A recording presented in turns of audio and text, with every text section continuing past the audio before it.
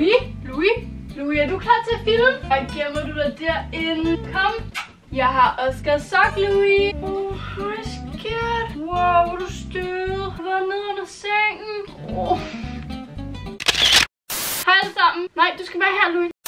Hej alle sammen og velkommen tilbage til min kanal. Så i dag, der skal jeg simpelthen lave en Q&A med lille Louis. Ikke Louis? Han ligger lige nu på den her pude. Han er en lille konge. Og jeg har simpelthen spurgt ind på min Instagram, om vi kunne stille en masse spørgsmål. Og det har jeg gjort. Og du skal blive her, din lille prut. Så må vi se, om Louis han gider være med i den her video. Han er lige sovet. Han er lige sovet, så han er nok lidt træt. Inden den her video begynder, skal vi så ikke se, om vi kan få 5.000 likes på Louis. Og så ved jeg i hvert fald, at I vil have flere hundevideoer. Kan du få 5.000 likes, tror du? Bruh. Okay, første spørgsmål. Hvem er den sødeste hund? Sophus eller Louis? Altså, det kan vi ikke svare på. Ej, sidder du og slikker dig i numsen? Eller på tissemanden? Det skal du ikke gøre i den her video. Det skal du ikke gøre i den her video, lille prut. Men det kan vi ikke svare på. Altså, jeg elsker både Sofus og Louis. 10 år har jeg haft Sofus. Og Louis, han er... Du skal altså ikke slikke dig i numsen. Og Louis har jeg jo ligesom lige fået. Ja, jeg kan ikke vælge mellem de to. Jeg elsker dem lige højt. Hvad synes Oscar om Louis? Oscar synes, at Louis, han er en lille prut. Det siger han i hvert fald hele tiden. Men han er også en lille brud. Ej, også kan han synes, at Louis han er mega sød. Der er ikke noget der. Heldigvis for det. Kan du godt lide mine hænder? Hundevalpe, de har med at bide sådan i alting. Men det er også fordi, at deres tænder, de klør helt vildt, men det gør ikke ondt, når han bider. Hvordan besluttede du, hvilken race den skulle være? Jeg har bare altid sådan elsket chihuahuas, også fordi den er sådan lille. Jeg vil gerne have en, som er med mig sådan overalt. Ja, så fandt jeg bare Louis på DBA, hvor jeg bare sådan, what, han er cute. Hvorfor skal du bide mig så meget lige nu? Du er helt legesyg, din lille prut. Au, Louis. Lille bandit.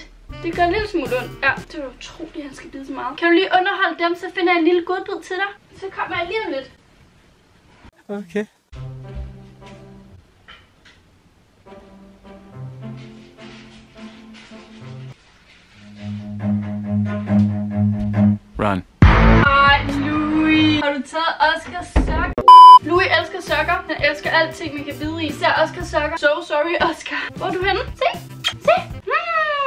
Vende den her vej, Louis?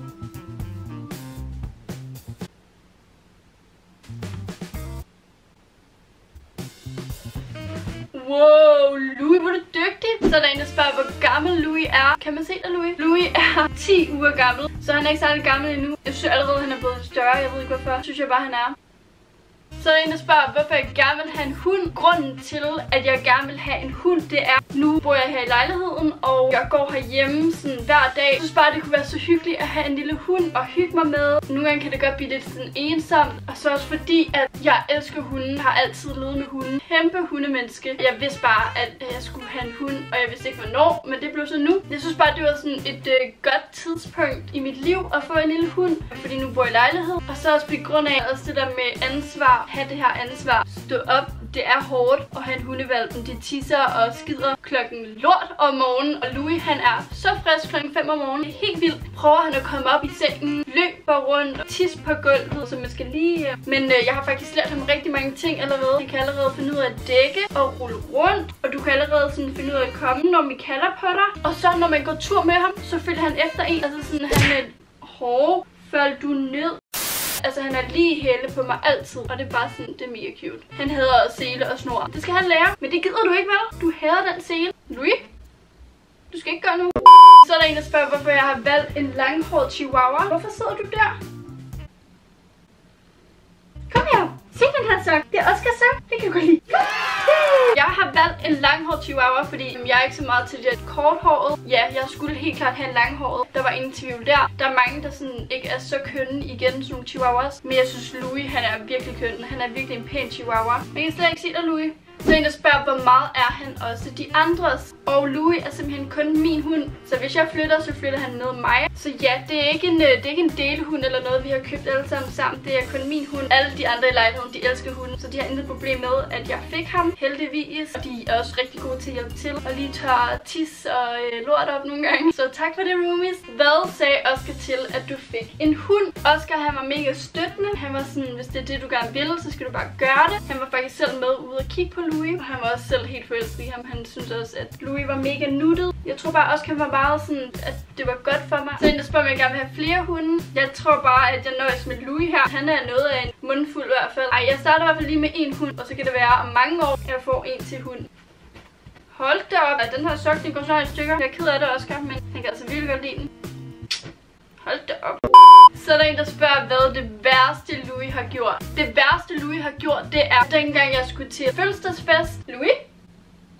Du skal ikke gå ned nu og lige havde gjort mig klar, var klar til at gå ud af døren, så valgte Louis simpelthen at sætte sig på mig. Så tissede han simpelthen. Så han tissede ud over den fine tøj, jeg havde på. Det var ikke fedt. Så en, der spørger, om der er noget nederen ved at have en hund, som jeg ikke havde tænkt på, inden jeg fik ham. Altså, jeg vidste jo godt alt det der med, når han er hundevalg, at han vil tisse indenfor og skide og sådan noget. Og så skal han jo luftes meget, og man får ikke så meget søvn. Men nej, altså, jeg vidste jo godt, at det var et kæmpe ansvar at få en hund, og det sagde mine forældre også. Nu skal du lige tænke dig om, Josefine. Det er et hårdt arbejde. Jeg var sådan full committed. Jeg vidste bare, at uanset hvad folk sagde, så skulle jeg stadig have ham. Så er der en, der spørger, hvor stor Louis bliver. Men Louis, han er jo som sagt en chihuahua. Jeg tror, det er den mindste hund, der findes. Selvfølgelig bliver han større end det her. Og det var også grund til, at jeg gerne vil have en chihuahua på grund af størrelsen. Jeg kan have ham med til mange ting ud og rejse og sådan noget, hvis jeg skal det. Så det var også grunden til, at jeg vil have en chihuahua i stedet for en sådan større hund. Så er der faktisk også noget, de vil snakke om og tage op, som har gjort mig sådan ret ked af det faktisk. Øh, jeg har fået sådan nogle kommentarer og beskeder på min Instagram omkring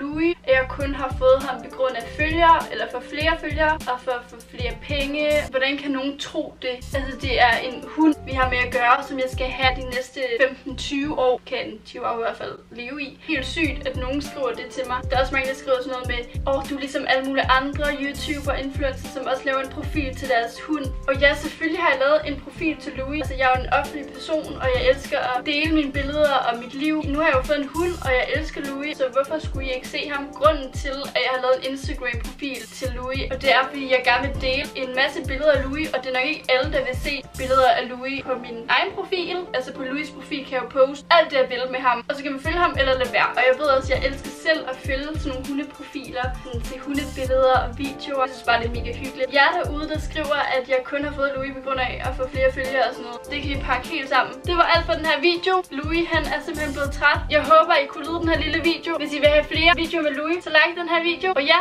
ellers så ses vi bare i min næste video.